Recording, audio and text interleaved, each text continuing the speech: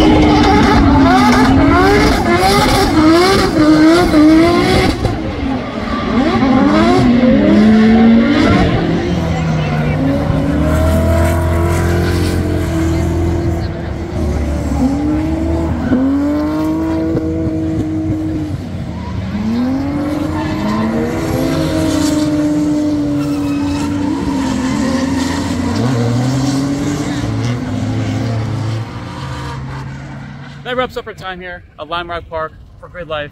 Thank you so much for watching. Please like, comment, subscribe, and we'll see you next video very soon. Peace. Loving cars.